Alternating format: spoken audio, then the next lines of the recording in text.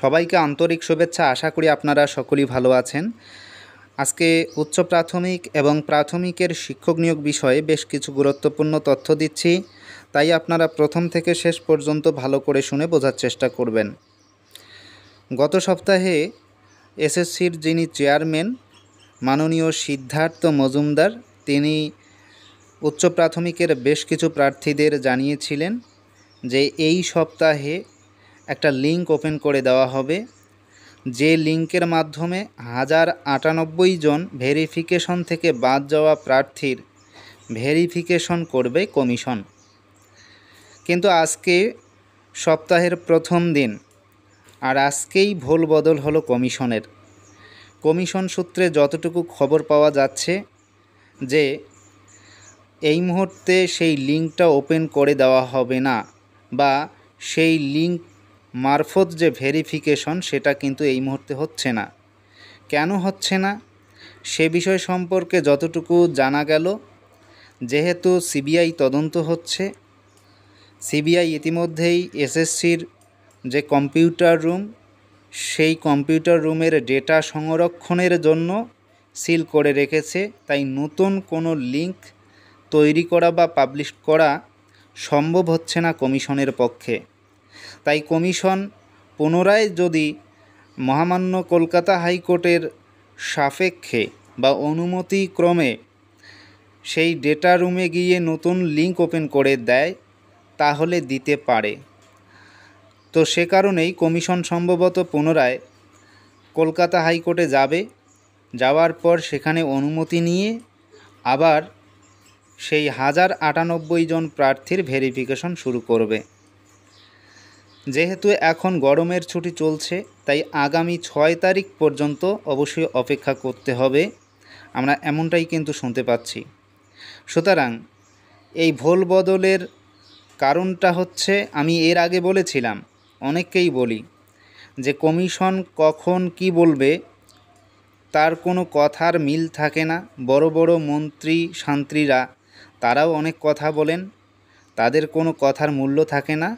তারা সোজা মহামান্য কলকাতা হাইকোর্টের দিকে আঙুল তুলে দেখিয়ে দেন যে কোর্ট যা করবে তাই তারা মাথা পেতে নেবেন। সে কারণেই কোর্টের উপর সব কিছুই ভরসা বা ন্যস্ত করে দেয় কমিশন। আর নিজের যে স্বশাসিত বিষয়টা, তাহলে সেই স্বশাসিত বিষয়টাকে কমিশন কি এই মুহূর্তে বন্ধ রেখেছে? মোট কথা হচ্ছে, আপার প্রাইমারির যে সমস্ত প্রার্থী আছে, তাদের দীর্ঘদিন চলে গিয়েছে, আর কতদিন অপেক্ষা করবে, সেটা নিয়েই অনেকেই কিন্তু এই মুহূর্তে সংশয়ে রয়েছেন, চিন্তিত রয়েছেন, বয়স বেড়ে যাচ্ছে, তারা এখনও চাকরি পাচ্ছেন না। তো অনেকেই আবার বলেছেন আমাকে যে সিট আপডেট বিষয়ে কিংবা ওভারেজ বিষয়ে। তো তাদেরকে আমি বলব, গতকালকে আমি অ্যাডভোকেটদের সঙ্গে কথা বলতে চেয়েছিলাম, কিন্তু পরে রাত্রিবেলায় আমার কথা বলা হয়নি। তাই আমি আপনাদের সেই বিষয়টা বলতে পারলাম না, দুঃখিত। এবারে প্রাইমারির শিক্ষক নিয়োগ বিষয়ে বেশ কিছু তথ্য উঠে এসেছে, সেটা আপনাদের সঙ্গে শেয়ার করছি। প্রাথমিকের দু হাজার চোদ্দ সালের নট ইনক্লুড দু হাজার সতেরো সালে যারা পাশ করলেন, তাদের এই মুহূর্তে কোন পর্যায়ে নিয়োগ প্রক্রিয়া চলছে? বিষয়টা হচ্ছে দু হাজার চোদ্দ সালের যে সমস্ত প্রার্থী আছেন, তাদের একটা কেস কিন্তু ইতিমধ্যেই মহামান্য কলকাতা হাইকোর্টে দাখিল হয়েছে। ধরুন একটা রয়েছে ম্যাট পনেরোশো চুরানব্বই, আরও রয়েছে। তো এই যে যারা কেসের মধ্যে রয়েছেন, আবার কেউ এই মুহূর্তে নট ইনক্লুড অবস্থায় রয়েছেন তাদের মিলে সাড়ে সাত আট হাজারের মতো শূন্য পদ কিন্তু বরাদ্দ রেখেছে পর্ষদ। সুতরাং এই মুহূর্তে শুধুমাত্র নট ইনক্লুডদের কিন্তু যে চাকুরি নাও দিতে পারে। কারণটা যতটুকু জানা গেল যে, এই নট ইনক্লুড যে সমস্ত প্রার্থী রয়েছেন, সেই সমস্ত প্রার্থীদের মধ্যে যারা কেস করেছিলেন সেই কেস না মিঠা, মেটা পর্যন্ত বা নিষ্পত্তি হওয়া পর্যন্ত সেটা কিন্তু কখনোই সম্ভব হচ্ছে না দু হাজার চোদ্দ সালের নট ইনক্লুড প্রার্থীদের। আর একদিকে দু হাজার সতেরো সালের যে সমস্ত প্রার্থী আছেন, সেই প্রার্থীদের ভবিষ্যৎ কী?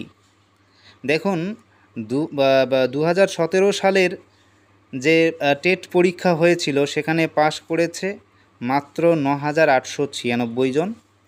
আর এই ন হাজার আটশো ছিয়ানব্বই জনের থেকে যতটুকু শোনা যাচ্ছে, সাড়ে তিন হাজারের মতো প্রার্থীকে কিন্তু তারা নিতে পারে। মোট কথা সাড়ে তিন হাজার শূন্যপদ রয়েছে। তো এই হচ্ছে প্রাথমিকের বিষয়। অবশ্যই আগামী দিনে যার শুরু আছে শেষ হবে, তাই আমরা আগামী দিনে এই বিষয়টা লক্ষ্য রাখব। আর আপনাদের আপডেট দেওয়ার চেষ্টা করব। সবাই ভালো থাকবেন সুস্থ থাকবেন। ধন্যবাদ।